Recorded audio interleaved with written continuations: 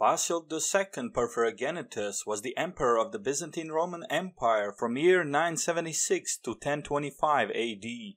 After emerging victorious in a series of civil wars, Basil turned his attention to Europe and fought the prolonged war against powerful Bulgarian Empire.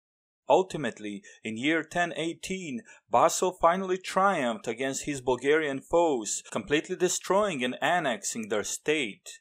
For this feat, Basil II was nicknamed the Bulgar Slayer.